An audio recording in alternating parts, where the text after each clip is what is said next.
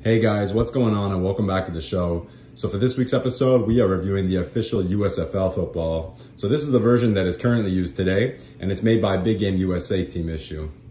So starting with the leather, this is a red authentic leather. It's basically a ProTac leather that has an excellent look and feel to it. The pebbles on this ball are relatively deep. They're not the deepest, but right up there with uh, some of the pebbles with the deepest texture.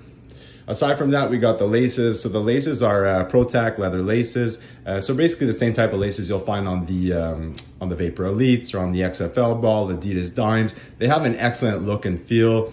Um, now they're relatively wide and they have quite a bit of depth, but laces are always a preference thing. Overall, they fit really well with this ball.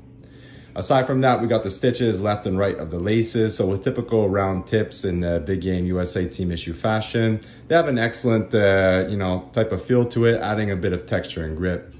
Aside from that, uh, what's special about the ball you got, instead of having traditional stripes, you got these stars at each end. Now the stars are really impressive and they're there for a couple of reasons. One for aesthetic, but two really for tracking. And they actually do a pretty good job at that. Uh, so overall, I think uh, they did a, an excellent job with the with the stars. You'll find three at each tip of uh, each panel. Uh, other than that, you got the logo, so the USFL logo. Uh, so this is basically the same style of logo as they had on the older ball that was made by Wilson. Um, but you know they've obviously added color, and it has an excellent look on the ball. So same thing as on the valve panel. We'll give you guys a couple good looks at the ball. So you got the USFL logo in the red, white, and blue United States Football League.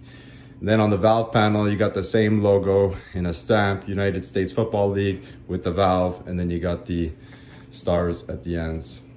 So that's it for this week's review. I hope you guys liked the vid. Don't forget to hit that like button and subscribe if you haven't already, and tune in next week for another official leather football review.